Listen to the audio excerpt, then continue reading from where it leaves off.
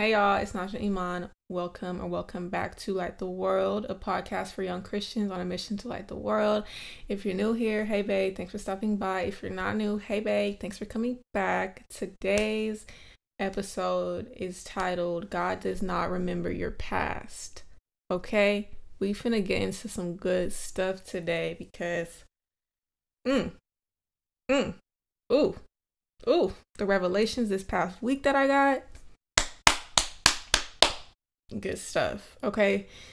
We're going to be talking about repentance, renewal, transformation, and the mysterious work of God, specifically focusing on the story of Paul and some other people in the Bible. But before we get started, the song of the day is Nothing But the Blood of Jesus by BeBe Winans. We love old school gospel. I got rebaptized last September, so it's been about it's, been about a few months since I got rebaptized. Um, five or six maybe. I'm I, do the math, okay?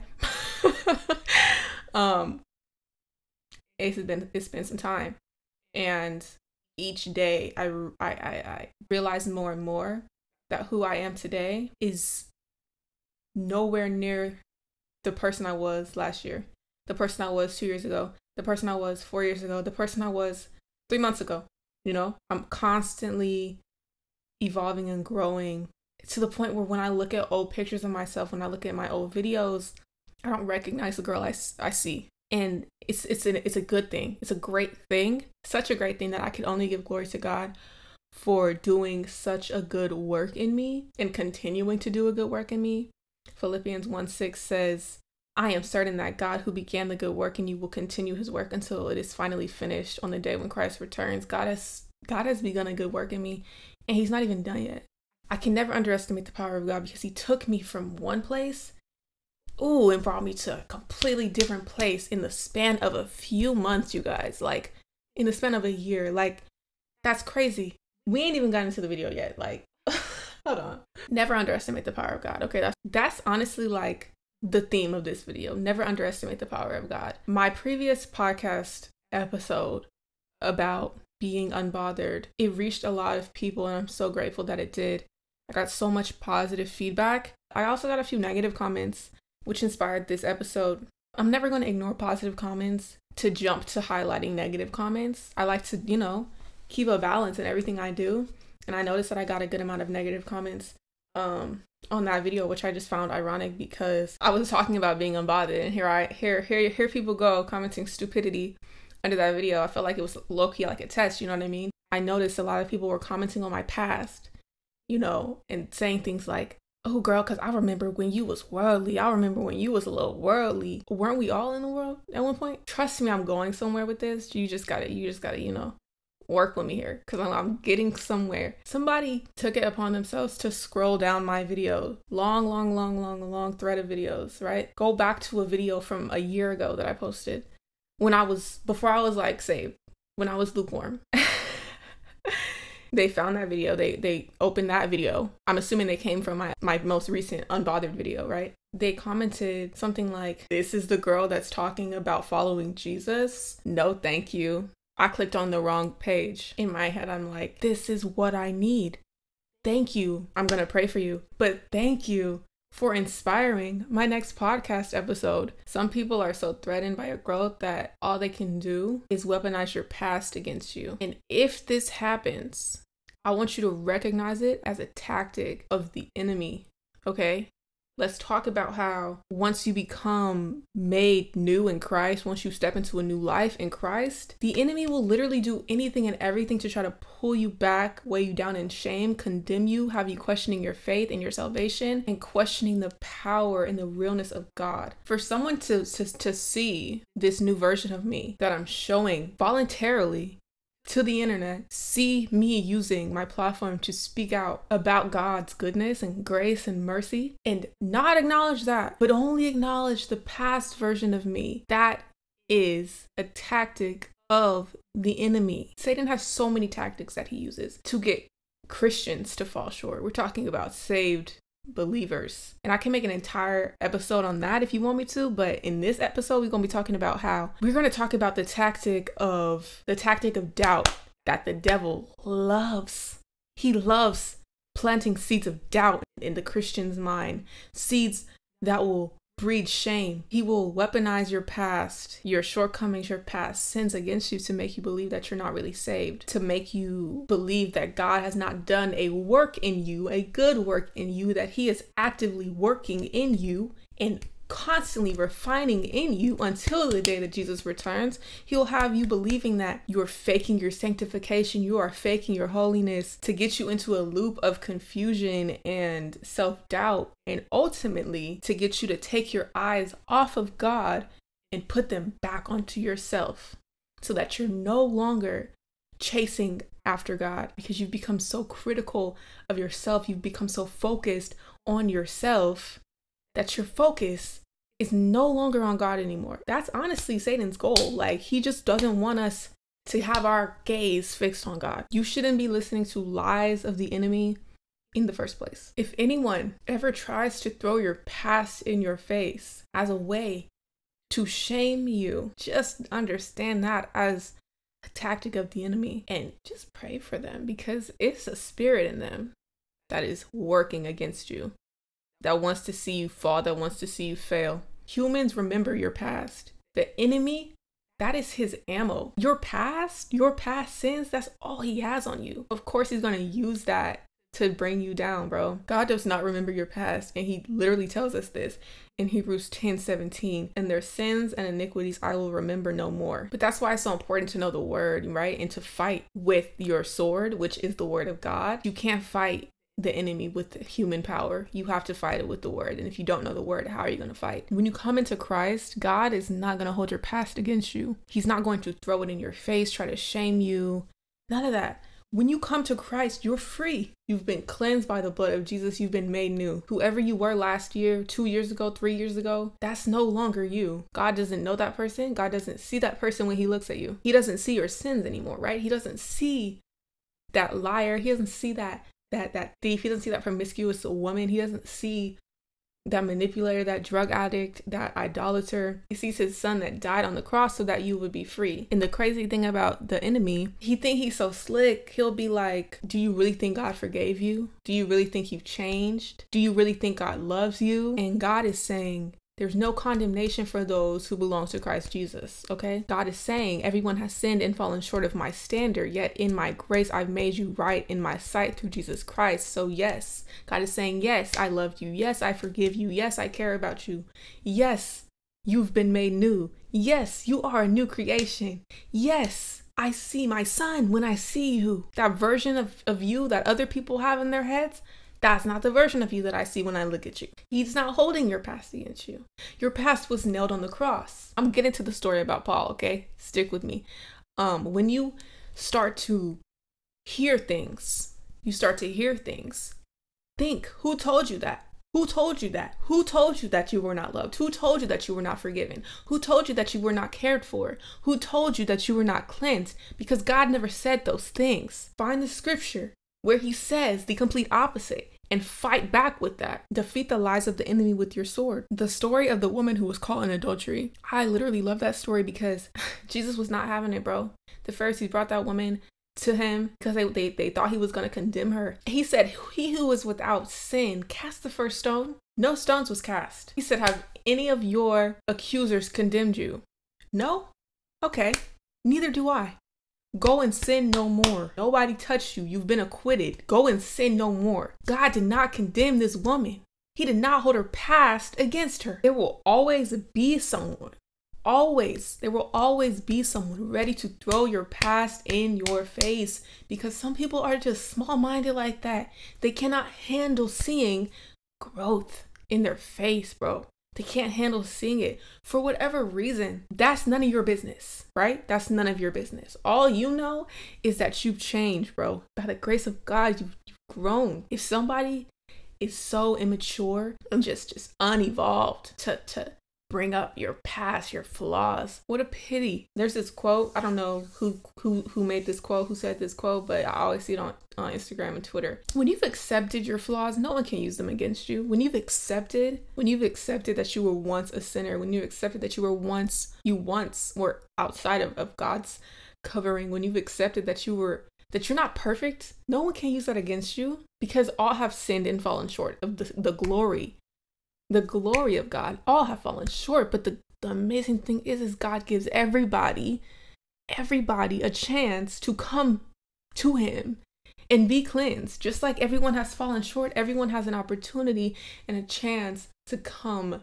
back into God's marvelous light. Like it's okay. There's a chance for everyone to be acquitted. It's just up to you to take that opportunity to be acquitted. So I like to look at the life of Paul. Paul's one of my favorite apostles in the Bible because his story is just so and it's so inspiring. I love how, how how Paul's story started out as him being a completely different person, even under a different name. He's he didn't even start out as Paul, dude. He started out as Saul. But even when he was killing Christians, condemning Christians, dragging Christians to to get arrested god still had a plan for him to be saved. God used saul transformed him into paul had a plan for him to become one of the greatest apostles and writers in the bible and bring so many so many people to christ. The fact that paul saul paul was out here killing christians and god still saw fit to use him. Like that was a, a, part of the plan. I can't imagine how many people judged Paul through his past mm-hmm. in his face. Maybe every single day. Like, you're a Christian now? You was just killing Christians. How are you trying to tell me about Jesus Christ when you was literally persecuting anybody that professed that he was the son of God? Like, that he was the Messiah. Get out of my face with that. Oh my gosh, it's just so crazy. Like I, am gonna juxtapose that comment that I got on the on my YouTube video, the one that was like, "This is the girl that's talking about following Jesus." Imagine what they used to say about Paul, dude.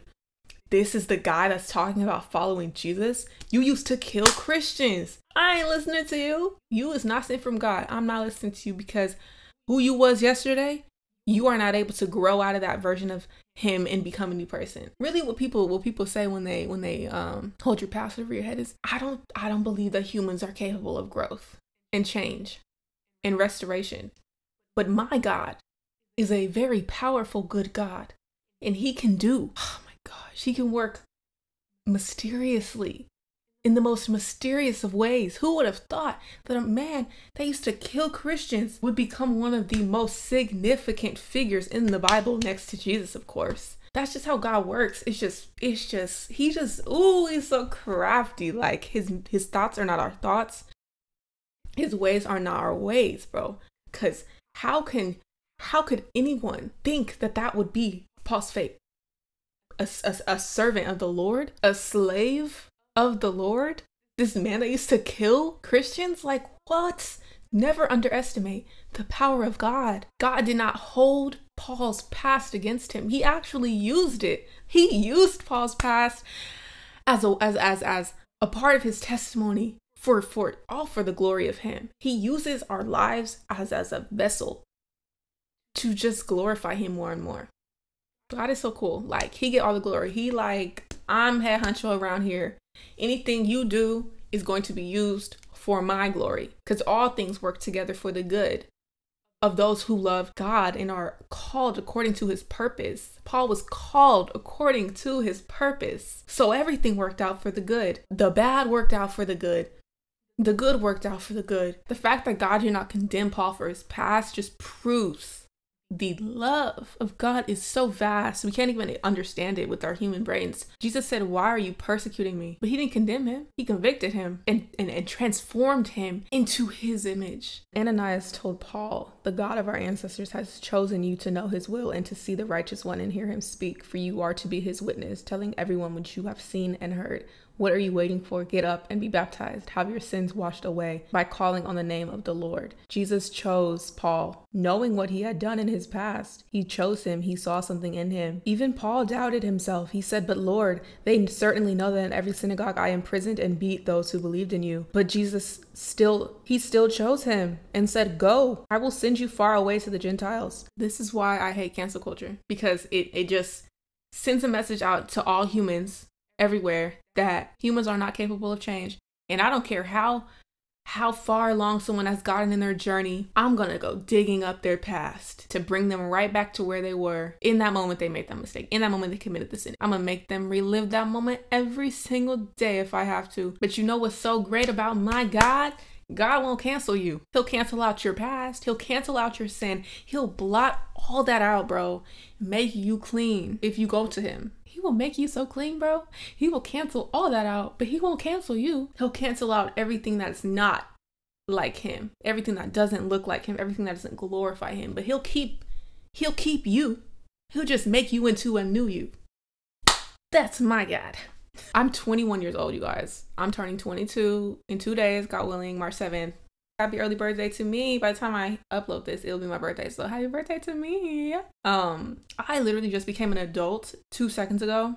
I still don't feel like I'm an adult, to be honest. COVID messed everything up, so I really still feel like I'm about 17, but whatever. You guys, if you know, you know that I grew up on the internet. Like, I posted my first YouTube video in 2017. I was 15 years old or something. I documented my entire high school journey, my college experience, my ups and downs, my flaws, my mistakes, my breakups, my fights. Y'all saw the story times, and they was ghetto for sure. But it's my story, right? All of that I willingly decided to share. I was just having fun with it. I never knew that God had a bigger plan and purpose for me and my entire platform, just even outside of YouTube, like just me as a person, as a brand, quote unquote. I really don't like calling myself a brand, but like at this point, whatever. I never knew what God's plan was for me, but He uses our lives as testimonies. My whole entire life is a testimony to the goodness of God, the power of God. My entire life is a testimony. You can't try to embarrass me or think you caught my tea by pulling up my past. Like everything is out there, everything is out there to see. God still forgave me. So that's a testament to his grace and his cleansing cleansing power. There's literally no condemnation for anyone who is in Christ Jesus by trying to pull up one's past, throw it in their face. I was like, ah, gotcha moment. Who are you fooling but yourself? Who are you hurting but yourself? I could wipe everything, bro. But why would I do that? My life is my testimony. You go from the, the beginning of my journey to now, you see that transformation? That shows you the power of God. The entire purpose of my life is to glorify God. If you see anything good in me, anything at all, it's not me, bro. It's Jesus. That's my testimony. Whether you've been here this whole time or you just found my channel, you can see where I started versus where I'm at now. Polar opposites. All the glory goes to God. Like all of it. Yeah. Anyone the son sets free is free indeed. And that is on period. okay. Do you trust in God enough to believe what He says is true? Do you believe Him when He says, their sins and iniquities I will remember no more. Do you believe that God does not remember your sins anymore? Do you truly believe that in your heart? Because He said it. And everything that God says is true. Stop listening to lies. Maybe this episode was for me. Maybe it was for someone else. I pray that whoever needed to hear this message heard it, received it, and puts it into practice. Believe what God says. Their sins and iniquities I will remember no more. I'm gonna read this last verse in Hebrews 10 21 through 22 about persevering until the end when Jesus returns. Being able to walk confidently into God's kingdom, into God's arms. The header uh, says a call to persevere. And so, dear brothers and sisters, we can boldly enter heaven's most holy place because of the blood of Jesus. By his death, Jesus opened a new life giving way through the curtain into the most holy place. And since we have a great high priest who rules over God's house, let us go right into the presence of God with sincere hearts, fully trusting him. For our guilty consciences have been sprinkled with Christ's blood to make us clean, and our bodies have been washed with pure water. We're able to enter into the the most holy place not because of anything we did but because of Jesus Christ and the blood that he has washed us in We believe that you've been purified with the the the the the, the blood of Jesus do you believe that cuz that's all it takes it's all about your belief it's all about faith if you don't have that you don't have anything do you believe that God is not holding your past against you or do you still walk around in shame just know that shame's not coming from God. All right, you guys. I hope you enjoyed this episode. If you did, give it a thumbs up. If you're listening on Apple Pods or Spotify or wherever else, give me five stars if you feel so inclined. And I will talk to y'all all in my next episode. Love you guys. Bye.